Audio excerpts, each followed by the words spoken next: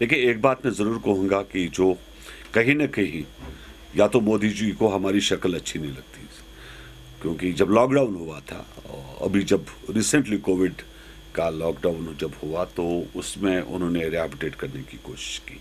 आपका बैंक ने लोन माफ़ कर दिया। छः मतलब माफ़ क्या छः महीने आपको लोन नहीं मांगा?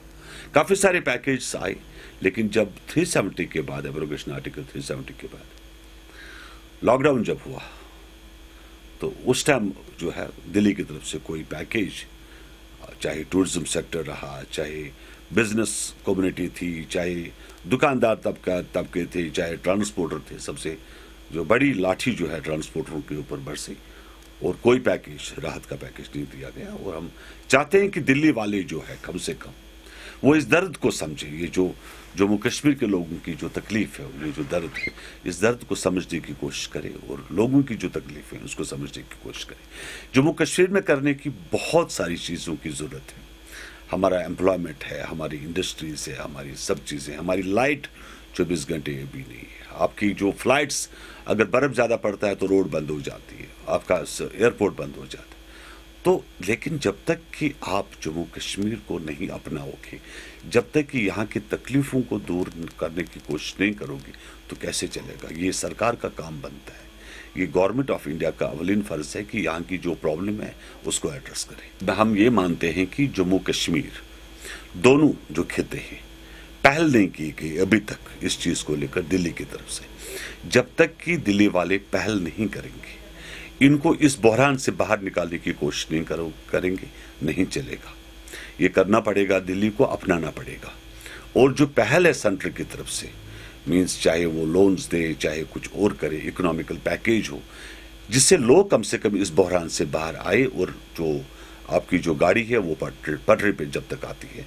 लेकिन उसमें जो खास करके जो यहाँ के जो ब्यूरोक्रेसी के लोग हैं, उनका भी रेस्पॉन्सिबिलिटी बनती है, क्योंकि काफ़ी लोग यहाँ से ताल्लुक़ रखते हैं। सभी डीसी बाहर के नहीं है। काफ़ी डीसी यहाँ के हैं जिन्होंने यहाँ रहना है। या जो देखते हैं कि यहाँ की तकलीफ़ को अंडरस्टैंड करने की ज़रूरत है।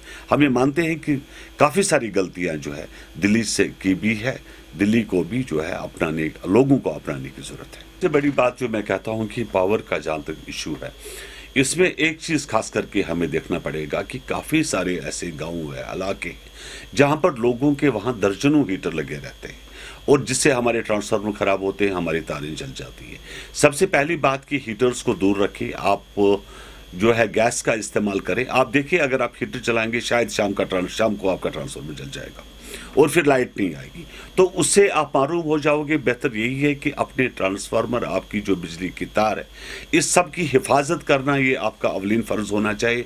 चाहे मस्जिद कमेटी हो, मौला कमेटी हो, मैं ये चाहता हूँ कि हमारे जो मौलाना साहब जब मस्जिद में जाते हैं नमाज़ पढ़ने, पढ़ाने तो वहाँ पर भी इस चीज़ के ऊपर दरस दे अपने, ताकि लोगों में जो है अवेयरनेस पैदा हो, हमारे ट्रांसफार्मर न जले, और जिससे लोड शेडिंग होती है, वो ज़्यादा ना हो, और पावर हमारे यहाँ बराबर सप्लाई हो।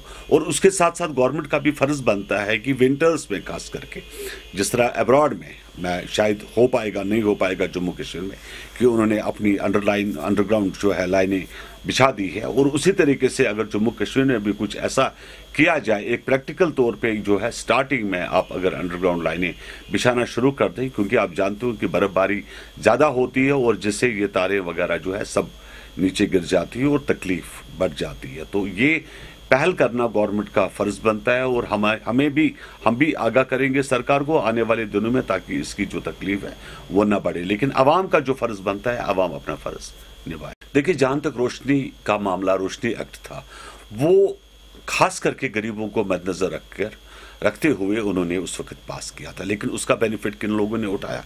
अमीरों ने उठाया। उन्होंने कुछ पैसे भर के मीन्स आपका जो श्रीनगर म्यूनसिपल एरियाज़ है, जहाँ पर करोड़ रुपए की लैंड है, वहाँ उन्हें पाँच हज़ार रुपये भर के वो ज़मीन को ख़रीदा और फ़ायदा लिया ब्यूरो ने। मुझे लगता है कि आवाम को कोई तकलीफ़ होनी चाहिए। अगर ब्यूरोक्रेट्स और पॉलिटिशनों ने ज़मीनें हड़प करके रखी है, अगर इस स्कैम के ऊपर उनको, उनके ऊपर केसेस लगते हैं और उनको कोर्ट चालान पेश होगा तो मेरे ख्याल में अच्छी बात है। आवाम को उसमें नाराज़ होने की कोई ज़रूरत नहीं है क्योंकि आवाम जो गरीब आवाम है उन बेचारों को कोई फ़ायदा इस चीज़ का नहीं मिला। जिन लोगों को रोशनी एक्ट का फ़ायदा मिला है वो बे, बेशक इस चीज़ को झेले और हमें लगता है कि अच्छी बात है। सरकार जो भी फैसला ले रही है इस वक्त सही ले रही है। अगर उस वक्त उन लोगों ने ज़रा बर भी सोचा होता कि इससे आप देखिए कितने पाँच पाँच सौ कनाल दो दो सौ कनाल चार चार सौ कनाल ज़मीन ऐसा है जो ने रोशनी स्कैम के अंदर जो है वो लेके रखा है। और उसी के साथ में जम्मू में भी फॉरेस्ट लैंड भी लेके रखी है। तो इन मिनिस्टरों या ब्यूरोक्रेट्स जो भी रहे हैं पीछे, लाठी बरसना अच्छी बात है। ये सरकारें जो है किसी की प्रॉपर्टी नहीं है, किसी की जागीर नहीं। कल जहाँ फारूक था, फिर कहीं महबूबा थी, आज कोई और है, कल कोई और होगा। भाई, दौर चलता रहता है। तो इसमें ये क्या कहते हैं? जो सबसे बड़ी चीज़ जो है वो ऊपर वाली की लाठी है, ऊपर वाली की लाठी जब बरसती है, उसमें आवाज़ भी होती, वो आपने देखा होगा। आठ आठ महीने एक एक साल ये लोग बंद रहे तो वो क्या थी, वो तो ऊपर वाली की लाठी ही थी, जिसमें आवाज़ भी नहीं थी। और यही लोग जो आम लोग उससे मिलते भी नहीं थे, जिनको गवारा नहीं होता था, आम इंसान से बात करना। तो उनको समझ आया इस चीज़ को कि ये जो अकदार आपको मिला था, ये आवाम की तरफ़ से मिला था और आवाम जो है, जो चाहे फैसला कर सकता है, उनके पास जो वोट है मैंडेट है मैंडेट के ज़रिए वो कोई भी फैसला कर सकती है। आवाम ही मालिक होती है और हम इससे कहते हैं कि आवाम से बढ़कर और कोई नहीं हो सकता। और पॉलिटिशनों को भी चाहिए कि वो खास करके जो ऐसे ख्वाबों की दुनिया में रहते हैं और उनका जो अंजाम होता है, बहुत जल्द सामने आता है। जो लॉन्ग रन में जो लोग देखते हैं तो उनके ऊपर ऐसी बातें नहीं होती। तो इन आने वाले दिनों में जो भी होगा, हम चाहते हैं कि सरकार जो है कम से कम जो जो लोग भी मुलवस है रोशनी से कैम में उनका नाम जो है पब्लिक डोमन में आए। देखिए, ये सब जो है ज़िम्मेदारी डीसी हजरात की बनती है, जो इलाके के डिप्टी कमिश्नर्स हैं। सबसे पहले अगर कोई ऐसी जगह पर रह रहे हैं, कोई बुज़ुर्ग लोग हैं, या जो भी गुजर बकरवा लोग हैं, जो सरकारी जो उन्होंने जंगलात के ज़मीन पे अपने कोठे बना के रखे, कि डीसीज उनको रिहाबिटेट करें। अगर वो रिहाबिटेट नहीं करेंगे, उनको तो ज़ाहिर सी बात है, आज उनको निकाल देंगे, कल वो फिर आएँगे। और किसी का घर तोड़ना अच्छी बात नहीं है, जो लॉजिक नहीं बनता। सबसे पहले आप उनको रिहाबिटेट करें। उसके रिहाबिटेट करने के बाद भी वो तब भी, क्या कहते हैं जो भी आपने गवर्नमेंट की तरफ़ से उनको लैंड दिया है या मकान दिया, वहाँ नहीं रहते हैं तो बात बनती है। आप लाठी चलाए या कुछ और चलाए। लेकिन इस तरीके से लाठी चलाना किसी चीज़ का वो, हम कहते हैं कि कानून, कानूनी भी अखलाकी भी इंसानियत से, के हिसाब से भी गलत है।